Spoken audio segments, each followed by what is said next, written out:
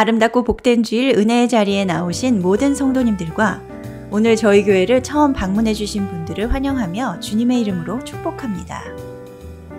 가스펠 미션 교회 주일 소식입니다.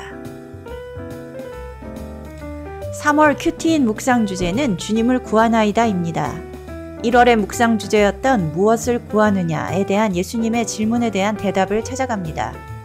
내가 곧 길이요 라는 예수님이 제시하신 유일한 길, 삶의 방법과 방향에 대해 3월 요한복음을 다시 묵상하며 찾아갑니다. 3월 GMC 일정에 관한 안내입니다.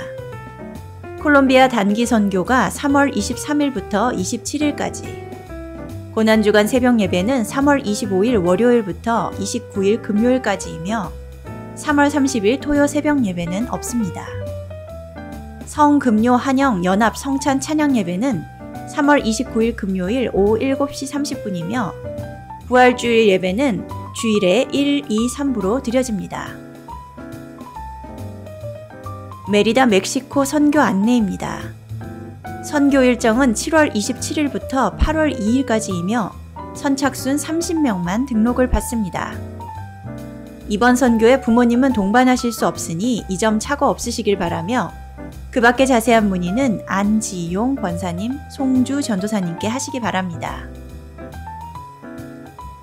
오늘 친교는 최성문, 최정윤 권사님 가정에서 섬겨주셨습니다. 귀한 섬김에 감사드립니다. 이상 3월 10일 가스메 미션 교회 주일 소식이었습니다.